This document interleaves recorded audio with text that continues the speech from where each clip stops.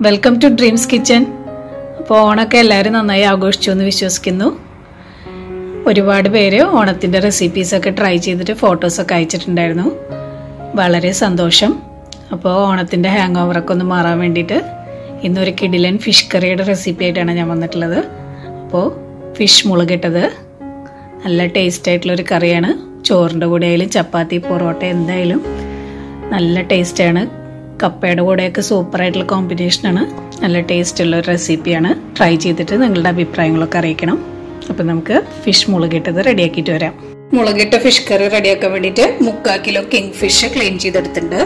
Vinegar ഉപ്പൊക്കെ ഇട്ട് clean ചെയ്തതുപോലെ തൊലിയെല്ലാം കളഞ്ഞ് ക്യൂബ് പീസ് ആക്കിയിട്ട് എടുത്തിട്ടുണ്ട്. വട്ടത്തിൽ അരിയുന്നേക്കാളും ക്യൂബായിട്ട് കട്ട് ചെയ്യുമ്പോൾ ഒരു സ്പെഷ്യൽ ടേസ്റ്റ് കിട്ടും കറിക്ക്. അതുപോലെ കഷ്ണങ്ങൾ ഉടഞ്ഞു പോകാതിരിക്കാനും ഇങ്ങനെ കട്ട് ചെയ്യുന്നത് നല്ലതാണ്.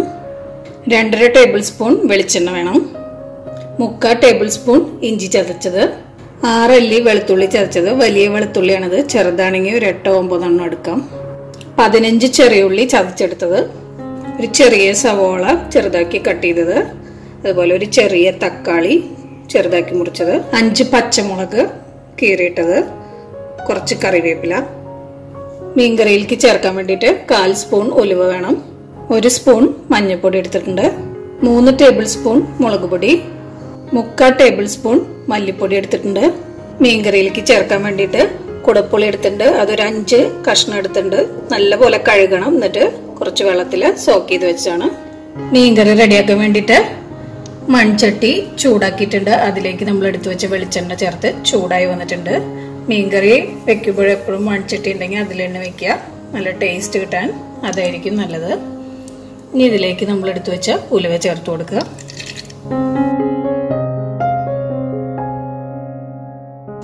ഇനി ഇതിലേക്ക് ഇഞ്ചിയും വെളുത്തുള്ളിയും ചേർത്ത് കൊടുക്കുക. ഇതിന്റെ പച്ച സ്മെല്ല് പോകുന്ന പോലെ വഴറ്റിയെടുക്കുക. ഇഞ്ചിയും വെളുത്തുള്ളിയൊക്കെ വഴണ്ട് വന്നിട്ടുണ്ട്. ഇനി നമുക്ക് ഇതിലേക്ക് ചെറിയ ഉള്ളി സവോളയൊക്കെ ചേർത്ത് കൊടുക്കാം. ഇത് നല്ലപോലെ ഒന്ന് വഴറ്റിയെടുക്കുക. ഉള്ളി സവോളയൊക്കെ ഒന്ന് സോഫ്റ്റ് ആയി വന്നിട്ടുണ്ട്. ഇതിലേക്ക് കറിവേപ്പിലയും പച്ചമുളകും ചേർത്ത് കൊടുക്കാം. വഴറ്റിയെടുക്കുക. ഒരുവിധം വഴണ്ടു വന്നിട്ടുണ്ട്. ഇനി നമുക്കിതിലേക്ക് തക്കാളി ചേർക്കാം. തക്കാളി നല്ല സോഫ്റ്റ് ആവുന്നവരെ ഒന്ന് വഴറ്റിയെടുക്കുക. അപ്പൊ തക്കാളിയൊക്കെ നല്ലപോലെ വഴണ്ടു വന്നിട്ടുണ്ട്.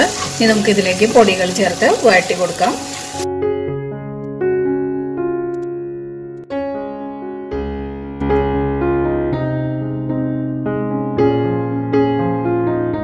പൊടികൾ ചേർക്കുമ്പോൾ ഫ്ലെയിം നന്നായിട്ട് കുറച്ചിടുക. മൺചട്ടിയായ കാരണം നല്ല ചൂടായിരിക്കും. അപ്പം നന്നായിട്ട് വഴണ്ടു വന്നിട്ടുണ്ട്. പൊടികളുടെ പച്ച സ്മെല്ലൊക്കെ പോയിട്ടുണ്ട്. ഇതിലേക്ക് നമുക്ക് കുടപ്പുളി ചേർത്ത് കൊടുക്കാം. കുടപ്പുളി ചേർത്ത് കൊടുക്കുക. വെള്ളത്തോട് കൂടിയിട്ട് തന്നെ ചേർക്കുക. ഒന്ന് മിക്സ് ആക്കി എടുക്കുക.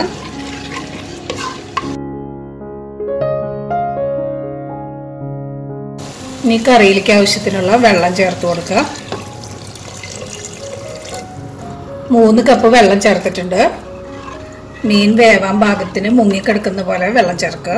പിന്നെ നോക്കിയിട്ട് ആവശ്യമുണ്ടെങ്കിൽ നമുക്ക് കുറച്ച് ചുടുവെള്ളം ചേർക്കാം. ഉപ്പ് ചേർത്ത് കൊടുക്കുക. ഇനി കറി നന്നായിട്ട് തിളപ്പിച്ചെടുക്കുക.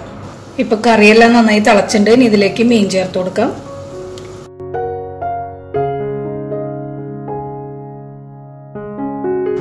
ഇപ്പൊ മീൻ ചേർത്ത് കൊടുത്തിട്ടുണ്ട്. ഇനി ഇത് വേവിച്ചെടുക്കാം. ഒരു മീഡിയം ഫ്ലെയിമിലിട്ടിട്ട് മൂടി വെച്ച് വേവിക്കാം. മീൻ വെന്ത് ഗ്രേവിയൊക്കെ നല്ല തിക്കായി വരുന്നവരെ കുക്ക് ചെയ്തെടുക്കാം. ഇപ്പൊ മീൻ ചേർത്ത് ഒരു ഇരുപത് മിനിറ്റ് ആയിട്ടുണ്ട്.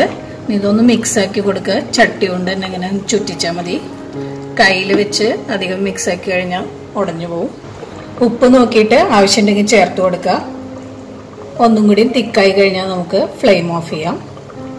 ഈ ഫ്ലെയിം ഓഫ് ചെയ്യാം. ചൂടാറി കഴിയുമ്പോൾ കറി ഒന്നും കൂടി തിക്കായിക്കോളും. ഈ കറിയിലേക്ക് ഒരു കാൽ സ്പൂൺ ഉലുവ പൊടിച്ചത് ചേർക്കുക ഒരു സ്പൂൺ വെളിച്ചെണ്ണ ചേർത്ത് കൊടുക്കുക കുറച്ച് കറിവേപ്പില ഇട്ട് കൊടുക്കുക. എന്നിട്ട് ഇത് കറി മൂടി വെക്കുക. ഒരു പതിനഞ്ച് ഇരുപത് മിനിറ്റ് കറി നന്നായിട്ട് മൂടി വെക്കുക. അതിന് ശേഷം വേണം മിക്സ് ചെയ്യാൻ വേണ്ടിയിട്ടും. പിന്നെ കറി നന്നായി തണുത്ത് കഴിയുമ്പോൾ നല്ല തിക്കായി ഗ്രേവിയൊക്കെ നല്ല ടേസ്റ്റ് ആയിട്ട് വരും. ഇപ്പൊ ഇരുപത് മിനിറ്റ് ആയിട്ടുണ്ട്. ഇനി നമുക്കിത് ഓപ്പൺ ചെയ്ത് നോക്കാം. കറിയൊക്കെ നല്ല അടിപൊളിയായിട്ട് വന്നിട്ടുണ്ട്. എണ്ണയൊക്കെ തെളിഞ്ഞ് നല്ല ടേസ്റ്റ് ആയിരിക്കും ഇത് കഴിക്കാനായിട്ട്. ഇത് തലേ ദിവസം തന്നെ തയ്യാറാക്കി വെക്കായിരിക്കും. കൂടുതൽ ടേസ്റ്റ് ആവുക. അപ്പൊ എല്ലാവരും ഇതുപോലെ ഒന്ന് ട്രൈ ചെയ്ത് നോക്കുക.